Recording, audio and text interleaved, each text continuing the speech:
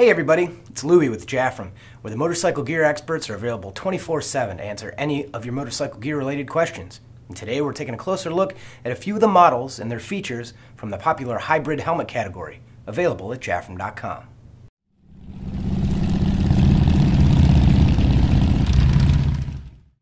A hybrid helmet is a helmet that has the features and functionality of more than one helmet category at the same time like a half or a three quarter helmet that can be made to protect your face, or a modular helmet that can be used as an open face at speed. Now, these are the Swiss Army knives of the motorcycle helmet world. To see any of the helmets we're about to look at in greater detail, check out the individual item product overviews at Jafrum.com. Now, the first helmet I want to show you is the Bell Rogue.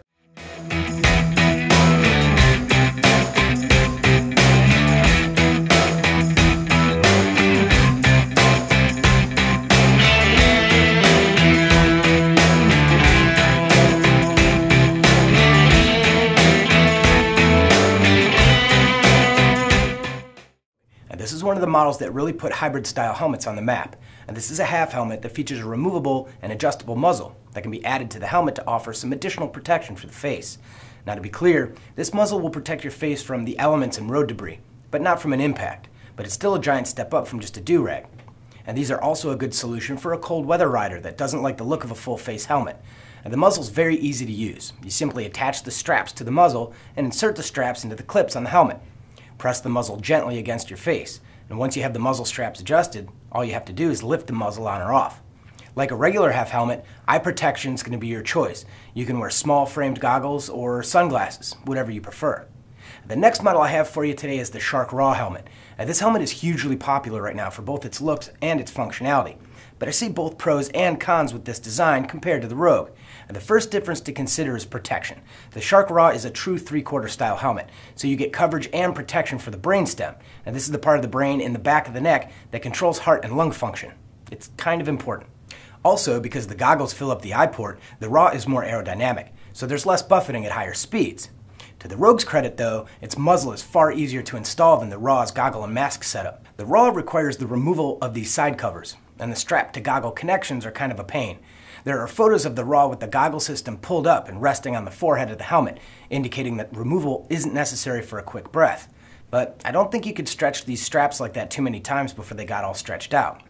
Now, one of the nice things about the process of choosing between these two models is that the solid colors are very similar in price, so you can make your decision based on the features that are the most important to you, and less on how much the helmet costs. The next two helmets I want to compare for you are from the rapidly growing segment of helmets with removable chin bars. Now, this is the Vega Stealth Phantom, and this is the G-Max GM67S.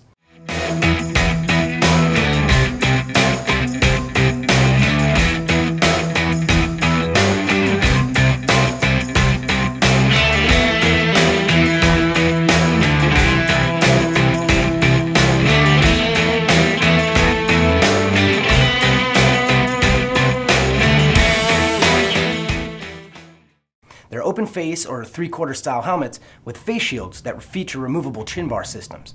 And the best way to compare these two models is going to be breaking the comparison into three parts features, quality, and price. And the first thing to note when choosing between these two is that the chin bar on the G Max is an additional accessory, it doesn't come with the helmet. Even with the extra purchase though, the G-Max is still quite a bit cheaper, as long as you remember to order the chin bar when you order your helmet and avoid the extra shipping. Now both systems install easily with a similar installation process. To install the chin bar, you just line up the tabs and press the chin bar against the helmet. To remove, just locate the buttons. On the Vega, they're on either side of the eye port. On the G-Max, they're on the underside of the bottom of the chin bar. And there are a couple of areas where the Vega's chin bar system wins. First, the chin bar is painted to match the helmet color. The G-Max chin bar comes in black only. Also, the G-Max chin bar comes with a fixed breath box, which is great for cold weather riding but can be pretty claustrophobic in hot weather, so it'd be nice if it was easily removable. I think the G-Max wins as a helmet overall though.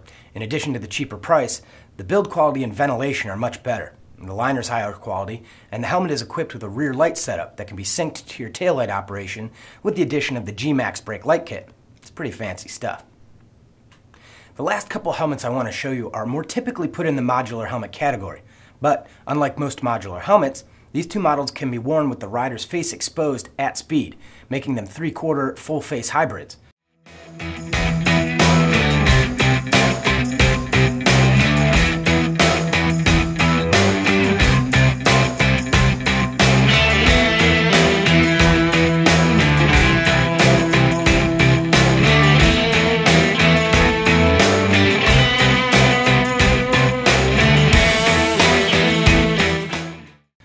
Modular helmet chin bars sit on the top of the helmet when raised, which creates a very top-heavy helmet that buffets terribly at speed. And the Shark Evil Evoline 3's chin bar rotates all the way to the rear of the helmet, allowing the helmet to retain its aerodynamic profile and low center of gravity. The Scorpion XO900 Transformers chin bar can be completely removed, creating a true open face style helmet. The Evoline is a slightly higher end helmet than Scorpion, but that reflects in the price. The Scorpion retails for over $150 less than the Shark does. The Shark's chin bar is definitely easier to use though. It's a quick, one button procedure that can be performed easily with the helmet on. You need to take the Scorpion off of your head to swap out the chin bar for the visor, and there's hardware on both sides of the helmet that need addressed. The Shark's also a bit lighter than the Scorpion, partly because of the design and partly because of the materials used. The Evoline is constructed of a very lightweight injection molded thermoplastic. The EXO 900, or XO 900, is made of a heavy duty polycarbonate. Now don't get me wrong though, the XO 900 is an excellent helmet with some excellent features, especially considering its affordability. It has Scorpion's AirFit pump to fit system, which allows you to inflate the cheek pads to customize the fit, and I also really like the liner. The quick wick material Scorpion uses is very comfortable and there are also some similarities between the two models. Both helmets feature an interior drop-down visor that's easier to use, and excellent ventilation. There you have it, six popular helmets from the growing hybrid helmet category. To check out more excellent motorcycle helmets, subscribe to this YouTube channel, Jafrum Videos, or click the link below to go to our website. We value your opinion, so don't forget to leave your comments on any of our videos or our Facebook page. And remember, when it comes to our customers, we'll ride the extra mile. I'm Louie, and you'll see me next time.